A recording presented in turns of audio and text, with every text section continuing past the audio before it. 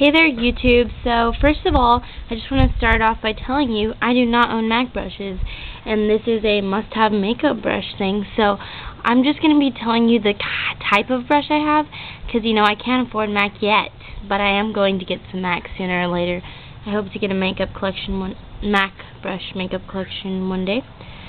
So the first brush that I really really like is a fluffy blending brush, and this brush is really good because it can blend out any ugly, harsh, or nasty lines on your eyes. It can make anything look good, and that's why I love it, because it's just wonderful.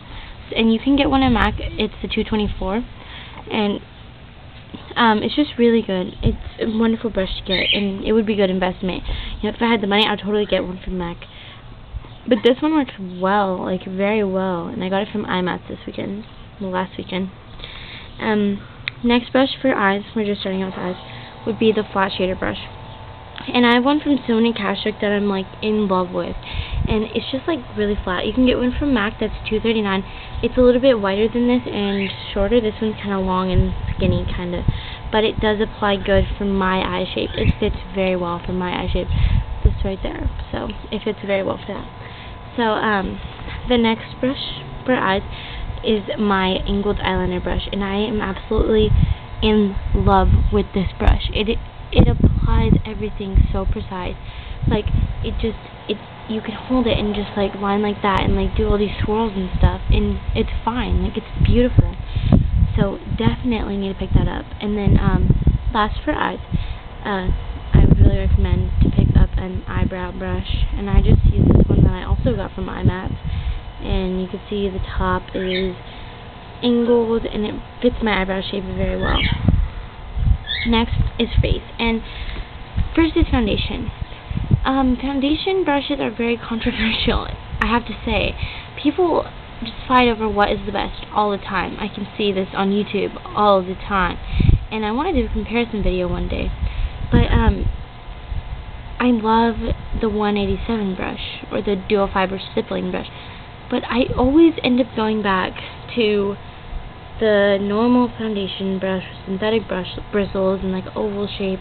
I always go back to this brush. So I'm going to put that on my brush. I also have another one like that. I'm going to put that as my brush, must-have brushes because I always go back to it. But I really do like the dual fiber stippling brush. I don't have my 187 dupe with me, but I do have the 188 one, which is a little smaller.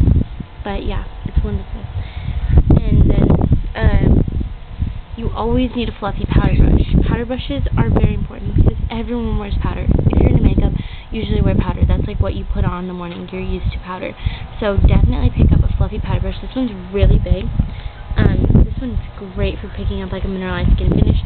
But if you're doing like Studio Fix powder and you want a more full, not full, but um, a heavier coverage, you can just pick up a smaller one because it's a little tighter and it can just really get it on there. The fluffy one's great for just putting on a setting powder you know, over your foundation. And then you will always need a blush brush because most of the time you're wearing blush. You know, when you do your foundation, you want to brighten it up because it does matte out your face. So, you know, you need a blush brush. This one I really like. I got it from IMATS. It's great for just, you can put on your apples and then blend. So it's beautiful. Wonderful, wonderful brush. Dome shape, you should always look for dome shape. And then, um, Last of all, you might want to pick up a concealer brush. I know a lot of people, for your makeup kit, you need a concealer brush because you do not want to be touching your fingers all over people's faces. And, like, I put my concealer on with a brush now, but I used to put it on with my fingers, and it works just the same. But for germs and stuff, for those reasons, just get a cheap little one like this. I got this from IMATS, and it applies very good. It's great for, like, covering up pimples or under eye area and that kind of stuff. So, um, I hope that this video will help you. I hope you'll take my advice, pick up some of these brushes, and I hope that you'll be able to find ones that work just like these ones, because I really like these ones. These get me through my everyday makeup and stuff, so sorry I'm outside. It just felt so good I had to be out here, and I had to make a video for you guys. Okay, so have a wonderful day, and subscribe to my channel. Bye!